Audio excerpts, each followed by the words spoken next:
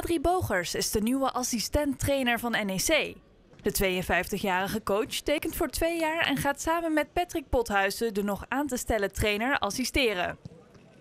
Vrijdagmiddag werd ook bekend dat Ouwehans Dierenpark de nieuwe hoofdsponsor van NEC is. Het park, dat eigendom is van NEC suikeroom Marcel Boekhoorn, staat voor één jaar op het shirt van de Nijmegenaren.